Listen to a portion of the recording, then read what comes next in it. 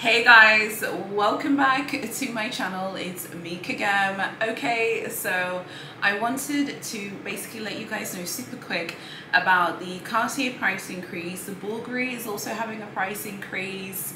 So there's a bunch of things that we need to talk about really quick. So yeah, let me just tell you everything and then we'll have some chit chat at the end. So first of all, before I get started, some of you were like, your videos are too long. I'm sorry, I'm sorry. Okay, I'm sorry some of them are too long. It's just that I have a lot of things to say. So you can you can just go read my blog. So I have written a Cartier price increase post, a very short one on my blog. It's linked below. If you don't want to watch my whole video, go read my blog. My blog is uh, much more of a mixture of stuff. I'm going to be adding much more stuff to it as well this month. It's going to be luxury. It's going to have like some beauty things in there, skincare as well. I'll be posting like my favorite products and stuff on my blog. So you can go check it out on there if you think you think I talk too much. I'm sorry. I'm sorry. I do. I love talking. Um, I love just chatting and talking, so it is what it is. All right, go check out my articles link below. So what is going on at Cartier, honey? You know Cartier is my favorite brand. Let me tell you, they are having a price increase um, and it's going to be from May. So basically it's going to be like, I think it's like they said between 5 to 8%. Now, there was some rumors in January about a price increase, but I didn't believe those ones because it was one influencer um, and it was an influencer in North America, but there was no intel from Europe. And you know, Cartier is a Swiss brand, even though it was you know founded in Paris originally. It is run from Geneva in Switzerland. Um, and normally, if you don't really hear anything happening in Europe, that's normally a sign that it's probably not going to happen because obviously, if it happens, it's going to happen in Swiss francs first before it happens in any other currency. Um, but this one, the rumors really did actually come from Europe. They came from Switzerland, they came from France, they came from a bunch of other um, EU countries. I saw a bunch of people in groups in different European countries saying that this was going to happen. Um, so I'm more inclined to believe it just because Cartier is a Swiss brand, obviously. And I did see some people from the US and Canada saying the same thing. So when we have a worldwide chorus and everyone's singing from the same hymn sheet, it seems to have more legs. It is going to be worldwide. Like I said, it's going to be from between 5% um, to 8%. It's going to be on everything. So jewelry, their watches, it's going to be from absolutely everything. Um, I love Cartier. My, I mean, my God, it's my favorite luxury brand. I love the brand so much. I'm not too mad about this because I don't think that the increase is like massive. I don't feel like it's a huge increase. I don't feel like this increase in, is really gonna like um, affect a lot of you who are big um, Cartier clients. Um, and the reason why I don't feel like it's going to affect um, a lot of you is because like I said, the increase itself is not actually that big relative to the other increases that we've seen from other brands. Um, but obviously, like I said, it's going to be their fine jewelry and it's also going to be their watches. I'm, I'm assuming their high jewelry pieces will probably go up as well. And they do actually have a new high jewelry collection that's also on the way. So it's probably going to be everything. You know, they have their stationery bits. They have also their like lifestyle home items as well. So it might just be worth, you know, noting that just in case you want to pick something up maybe you want to go now. I feel like now is a good time to go get like their watches. Like when i go traveling i'm definitely going to be going to cartier.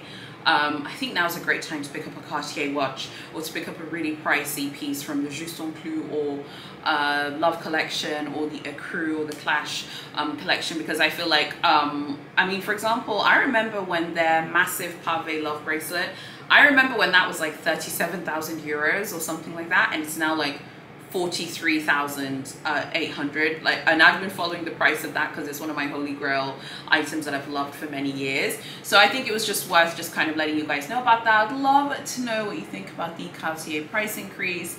Um, are you mad about it? Do you care? Do you not care? Are you going to be getting anything from Cartier? I mean what don't I want from Cartier? I've already done my Cartier wish list that I film. so you can go check that out it's on my channel pages I'd love to know what you guys are getting another brand that is having a price increase is Bulgari they're going to be having a price increase on the 15th of April. I saw someone mention this in a Facebook group. All of my info I got from Facebook groups. Um, I didn't see it anywhere else. So we'll see. We'll see if all of this comes to pass because it's possible that it won't and maybe um, none of the increases will happen. But I thought I would just let you know. I don't want to gatekeep information um, and keep it to myself. I was like, let me just let you guys know in case you're interested and in case you want to go ahead um, and make a purchase. So on the 15th of April, unpopular opinion, I don't actually like Bulgari's bags. I don't like the Serpenti line. However, I love everything else that, that they do. I love their watches. I love their fine jewelry. I love their rings, their, their bangles, their bracelets and everything. I love everything else. I just don't like the bags. I know many of you love the bags. I personally do not like them, but um, I know many people like them. Although I have heard from some of you that they are fantastic quality. So you'll have to let me know what you think about that. Another thing that I wanted to tell you about, which is a fine jewelry update, is oh my gosh, go on Chaumet's um, Instagram page and go check out some of their new um, products. I'm gonna put some up on the screen. They've got some beautiful new fine jewelry with Akoya pearls. They've got rings, they've got earrings. They're absolutely breathtaking and beautiful. If you don't know, Chome is um, one of the oldest um, jewelry brands in the world. It was founded in 1780 um, and they were in the Place Vendôme in 1812. Cartier was founded like much later. And for some reference like they were running around in Place Vendôme 1812 Big H was founded in 1837 I mean Louis Vuitton was founded in 1854 I think Boucheron was founded in 1858 Chaumet has been around for ages and ages and ages. It is a legendary brand. I feel like the brand is starting to pick up some steam now. Um, I feel like they're going in a different direction. It's very fresh. It's very modern. Super elegant. Very refined. Like when I think of Chaumet's jewelry, I think of refined elegance. Like a lot of you who like Van Cleef and Arpels, I think you're gonna like this brand. And I think Chaumet is a brand that you guys have to check out very under the radar as well but I feel like they're picking up steam and they're getting a lot of attention to my knowledge they don't really work with influencers that's something I kind of like about this brand they use a lot of models in their pictures and stuff. Um, I don't know there's just a lot of the stuff that I'm seeing. I'm loving the jewelry. This is um, very much out of my comfort zone. Um, as most of you know I prefer I prefer like flashier jewelry. Like I like Cartier's jewelry because it's so flashy it's so out there and it really shouts. Um, this jewelry is very elegant super refined very very very elegant. Um, but there is some ice there as well. And yeah really really impressed with what I saw on their Instagram. So I just wanted to let you know go check out their Instagram. You won't be disappointed. They've got lots of new um, scores and new arrivals and things that they um, have yeah basically been creating. I'm loving the rings that I'm seeing from this new line. I think this line is called the Josephine something line. I've forgotten the name now because it was also in French. It was quite hard to pronounce, but it's got basically, um, it's got, it's got like, they're like rings with like Akoya pearls, also earrings. So beautiful. Oh my gosh. I was like, I just had to let you guys know about that. I'll link the uh, Instagram below so you can go check it out and you will tell me what you think if you like Chaumet. I feel like there's so many great jewelry brands out there that are actually legacy brands that we don't ever really talk about. Um, and I feel like and don't get don't get me wrong I love Cartier's Spitz um, and I know many of you like Van Cleef and Arpels, but I feel like there are just so many great um, brands out there that we need to talk about. Um, and I will have another, I will have a fine jewelry video that's just dedicated to fine jewelry brands coming soon. A lot of you will like check out Almasika. I did, I liked what I saw. A lot of you love Messika, which is another brand which also has great jewelry. There are lots of beautiful, beautiful, beautiful jewelry that you guys have to check out. Another thing that I wanted to quickly tell you, and the reason why I'm saying it in this price increase, this price price increase videos because I know um, more people watch price increase videos than if I just was like, hey guys, go watch this um, or go check this out. So um, when it pertains to um, emeralds, like when, whenever we think about emeralds, they're like two, basically two varieties. You have the Colombian emerald, which is the really famous one, and then you have Zambian emeralds. I wanted to tell you guys about Zambian emeralds because I feel like this stone is so beautiful, so gorgeous, Zambian emeralds and Colombian emeralds have two major differences. Essentially, Colombian emeralds are like that bright emerald green, like they glow, you know, almost like incandescent. Whereas the Zambian emerald, obviously from Zambia, which is in Africa, hello, the Zambian emerald um, has like a bluish kind of tint to it a little bit and um, they have more like inclusions or flaws now I actually love the the sort of inclusions and the, the marks that you see in more Zambian emeralds because I feel like it gives the, the stone more character and if you have it in a jewelry jewelry piece I feel like it just has more character. Obviously um, I just wanted to quickly mention it and yes I'm biased okay? I'm from Tanzania. I live in Africa. I live in Tanzania now. Of course I'm a little bit more biased but of course the Colombian emeralds are super beautiful. But I just wanted to quickly tell you guys about Zambian emeralds as well. I will link a picture below of a Zambian emerald jewelry piece that I think was super beautiful that you can guys go you can go check out and you can tell me if you like the way it looks. But I just wanted to quickly tell you guys about that. Okay, now I just to have um, some chit chat. Um, so I don't know if have you guys noticed like a few like days ago and weeks ago, are like a lot of videos from a lot of luxury influencers, bloggers, and even on Instagram, like a lot of luxury Instagrammers are kind of saying goodbye like to luxury brands. Like they're saying goodbye big H goodbye Louis Vuitton goodbye Chanel um, and they're saying goodbye to them. They're saying that they're not going to be shopping from them at the moment. This isn't a response to anyone in particular. It's sort of a general comment because um, I thought it was really interesting. I wanted to kind of chat about it. And again because I know more people will watch this price increase vid so I'll be able to reach more people. But um, I wanted to kind of just tell you guys like my opinion on it and what I think about these, um, like th this whole thing of are these price increases too much? So there are a bunch of vids that have been um, uploaded by different influencers and bloggers about how price increases have become too much and many people are now deciding to stop shopping from luxury brands and they want to shop from just different type of houses, let's say. I've also seen this a lot on Instagram. So like I said, it's about no one in particular because I've seen this everywhere. I've seen this on Instagram, I've seen this on YouTube, I've seen this on Facebook. Um, I've seen it on a, a wide variety um, of, of brands, basically.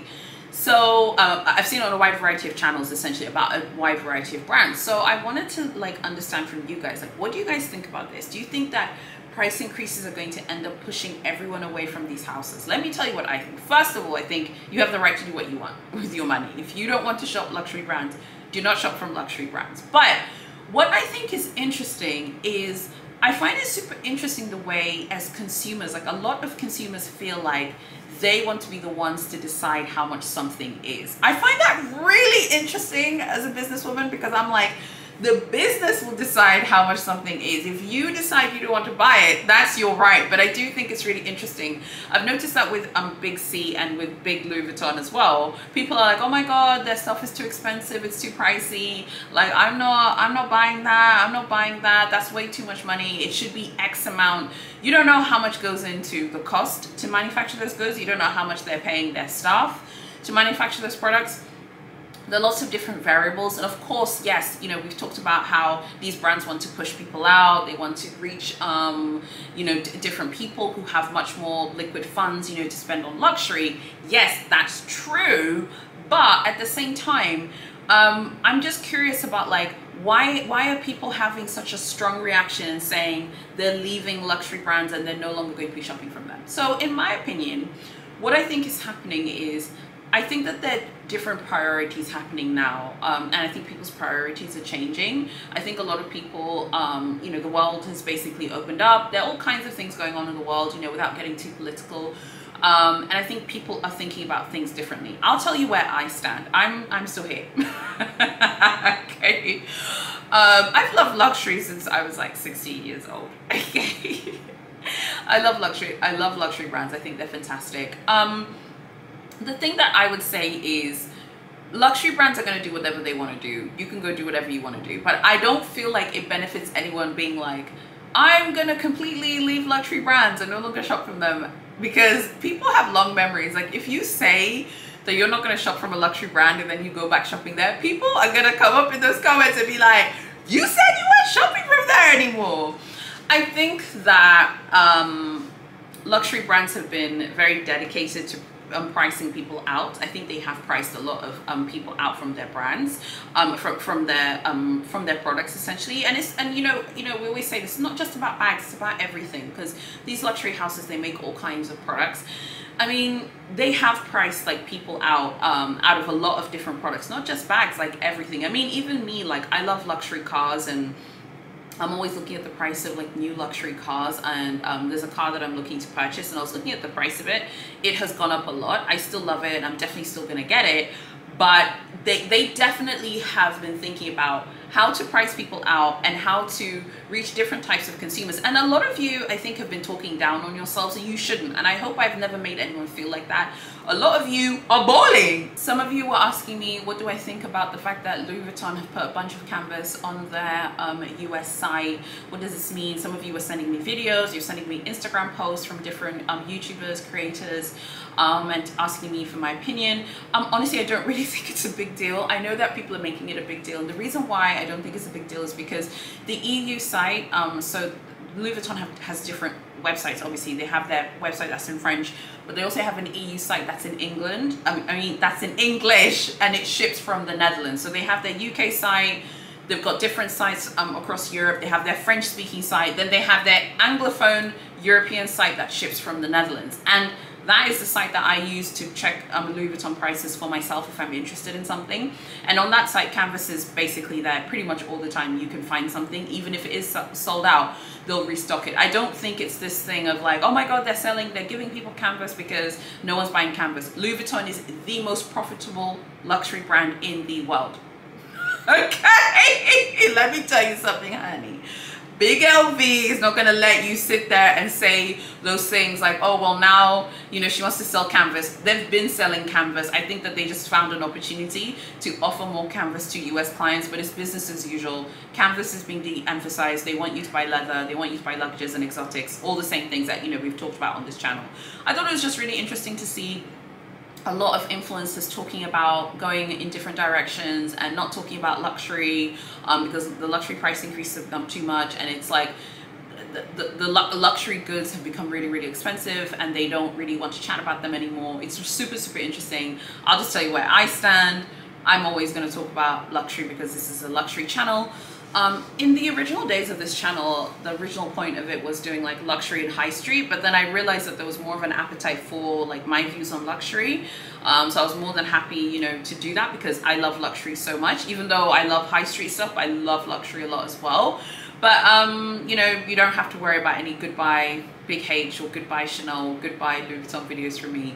I'm here, um, I'm not going anywhere. I also have so many great videos coming that I don't want you guys to miss out on. Who wants to see my, my luxury menswear video? I've been working on that. Um, I'm really proud of that one as well.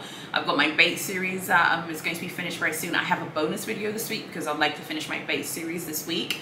Um, so make sure you stick around for that. I've got a, um, if you're interested, I've got a luxury car video if you'd like um, some tips on which luxury cars to buy. I love cars. I love high-end cars if you want to watch that one as well. I've also got a luxury watch video. I love luxury generally speaking, so I'd love to feature more of different types of things. Um, I think I'd mentioned to you guys that I was going to go to Zanzibar with my husband, but it is obviously Ramadan at the moment, so I'd like to wait for Ramadan to finish, and then once Ramadan ends, I will um, be heading to Zanzibar as well. So I can't wait to show you that, because um, we'll probably stay somewhere really nice. So I'd love to show you more like luxury hotel stuff. It's always going to luxury on this channel. It is luxury 24/7. I'm not. I'm not going. I'm not filming filming a goodbye video, but I know why people are tired because these price increases are crazy. I, I feel like these price increases are what they are. I think something else to note is like so many people who shop luxury have inherited money. I know that this is like a really taboo topic um, to even bring up. Um, I've realized I've never really talked about it, so let me talk about it now because I'm feeling really chatty. But a lot of people, a lot of you guys watching, you've all inherited money. You've inherited money, you've inherited homes, assets, stocks, and all of this. Um, that plays a huge role in having great financial stability because you can weather all kinds of shocks. Someone who hasn't inherited money and who maybe doesn't have a massive income, um, essentially at this point, definitely Chanel has priced that person out. Like if you don't have a massive income, you haven't inherited money, um, and you maybe you have like an average income, which is fine by the way. I just want to be clear about that. There's nothing wrong with that.